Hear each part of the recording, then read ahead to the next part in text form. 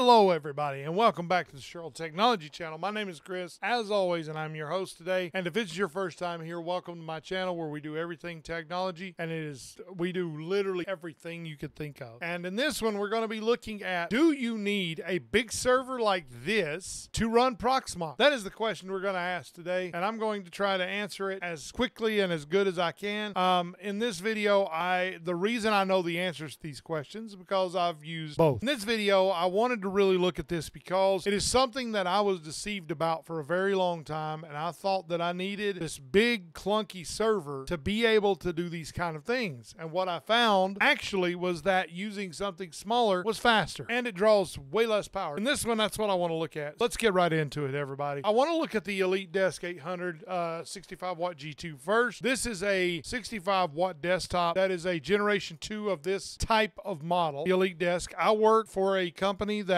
has tons of these and they're starting to get old. They're like eight, nine years old now, and they're beginning to get slow at work anyway. They're no longer a good thing to use. So that's kind of what I wanted to show y'all. The what I found is that these are they're pretty good desktops for certain things. Like right, so you don't want to use them for a, a heavy workload Windows and all the policies we're pulling into our systems are there's a lot of them. So we they these are not good for that. Um, we're starting to have issues with them. I, as a matter of fact, I replaced a Gen 1 version of these yesterday, or uh, it would be Friday. Friday, I replaced a Gen 1 version of these because it wouldn't, literally would not do anything. Something was wrong with it. So I ended up taking it out of service and it was useless. There was no reason to keep it because it was like, it was even older than this. It was a Gen 1. So I ended up going with a, with a different one that I got. It's a HP. I can't remember the model of it, but it's a spare one that I had that just, they ended up with. Now, the, if you use a bigger desktop like, or server like this, that it's going to run better. That is not true. As a matter of fact, I would actually say that the EliteDesk runs way better. The reason being is because it has a PCI Express Gen 3 slot for a NVMe drive. And so what I actually did was I took a 256 gig NVMe drive, put it in there, and now this is one that came from work. I filled out all the e-waste recycling paperwork and all that stuff. Was able to take it home with me because what are we going to do with it? Throw it away? I'd rather use it because I can use it here at home and it'll do perfectly for what I want to do. And it was an experiment that I'd want to do for a while, so that just happened to work out. So that's what I did. And what I have found is that it is so much faster. So for instance, I'll look at a a um at kind of the way this is now. If you scroll down, it's a little bitty thing. It's about that big around or that big. It's running an Intel. This is the chipset it's running. This is the graphics. This is the power rating that it has, and it has the i7 processor, so it's the upper end one because we we get the good ones. We don't get the cheap ones. Um, it has none of these in it. Um, solid state drives. I have a, a 256 gig drive in it. I have a 500 gig over there that I might put in later. Let's see, I've got a 500 gig SSD I would like to put into it to store VMs separately from the other stuff, but it doesn't seem to make a difference. It seems fast no matter what I do. Uh, here's your transfer rates, your maximum uh, RAM. I've got 16 gig in it now, so you'd probably have 16 gig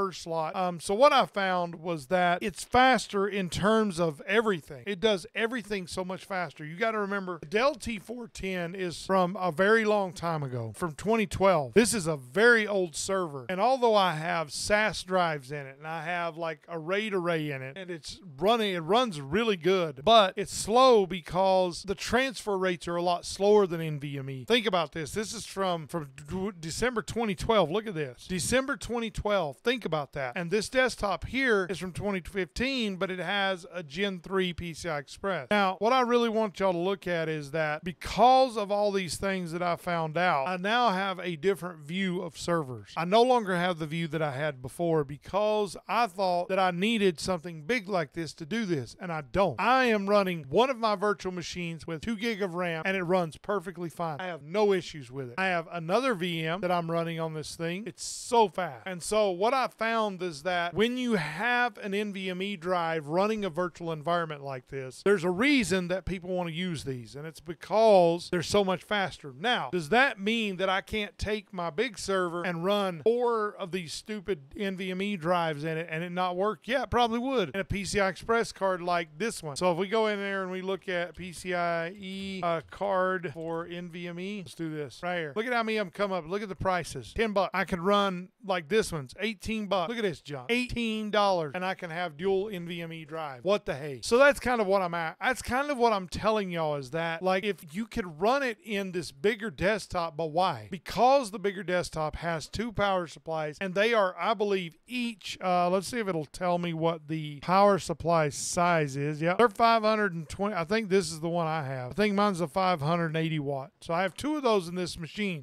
two of them. Think about that. They're running all the time. The other one has a 65 watt power supply. Think about that. The, the cost difference. It's going to cost a fifth as much to run and it's faster. So that's, I, I don't believe these falsities where they'll say that a bigger server is faster they're just not. Now, this thing has two processors in it. Mine does. And the mine are four core. Both of them are four core. So I think it's like 16 logical cores. Yeah, it's 16 logical. So that's kind of where I, I think y'all should really, if you're, if you're looking to buy a com, uh, server, I would first look at the smaller desktop market because if we do a search on this, you can get them for 120 bucks. 120 dollars and you can have a full-fledged server. This thing and it runs fast, dude. I can install the OS. The other thing I noticed was the OS install time. The OS install time was about a minute and a half. That's the fastest I've ever seen it do that. I've never, it's normally like five to 10 minutes. And I, I installed Ubuntu server and it was over a little over a minute. So that's kind of what I want y'all to see is that you don't necessarily have to have the biggest equipment in terms of this kind of stuff to be able to do the work. The work can be done by something much smaller. The other, the only thing you got to really remember is now you have limited resources. Like my other server, the big one, the T410, I have 64 gig of RAM. This one I'm limited to 16. That's really the only difference. But I've allotted four four gig for one of them, two gig for the other. That's six gig. That leaves me with 10 gig to run everything else. That's quite a bit. The only thing you're going to need is if you go with something bigger, if you go with a lot more virtual machines, then you're going to need, of course, a bigger machine. Now, there are machines like this that have a lot more RAM in them, and I'm sure you can get machines like this that have tons more RAM that go up to 64 gig, and you could run a full fledged just uh, a hoot nanny kind of PC. You could run a bunch of VMs and stuff. So that's kind of what I wanted y'all to see is that, and this machine compared to the weight of this one, this thing is freaking heavy. I don't know what it weighs, y'all, but oh my goodness, this thing is, it's got to weigh 40 or 50 pounds. It's heavy. And so that's kind of what, I mean, but it'll hold 10 up to 18 terabytes. That's the other thing. If you need it for just little local projects at your house, you don't need anything this big. But if you want to go full fledged, you want to do it all the way, then you need something like this. But that's kind of what I wanted to tell y'all. Um, in conclusion, I hope y'all enjoyed this video. I really think this is important because don't ever think that you have to spend. I think this server, when I bought it like nine years ago, was, I want to say 350 but I've spent quite a bit in it since then. I mean, I've, it's got a quad core NIC, quad NIC in it. It's got, it's got all kinds of crap now. But with that said, thank y'all for watching. If you have any questions, put them down in the comments and I'll be glad to answer them as quick as I can. I always answer everybody's uh, comments, no matter who they are, no matter where they come from. I will answer them as quick as I can. It's always, I try to always answer that time. Uh, like, thank y'all for watching. May the Lord walk with each and every one of you and bless the steps that you take. If you don't know him, reach out to me at SherrillTechnology at gmail.com. That is SherrillTechnology at gmail.com. And I will be glad to talk to you, lead you to him, or just listen to you talk about problems. I, that's what I love. That's that's why I do what I do. Um, I really want y'all to know him. That's my main objective. So in this one, I hope you learned something and I hope you enjoyed this video. Until next time, everybody. Peace.